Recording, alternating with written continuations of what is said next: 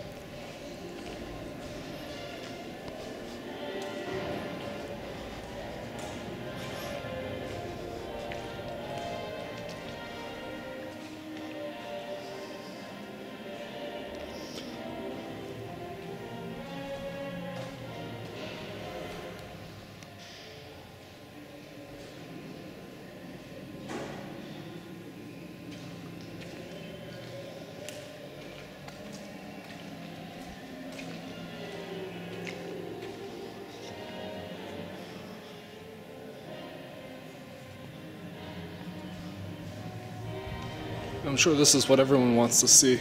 It's Carl.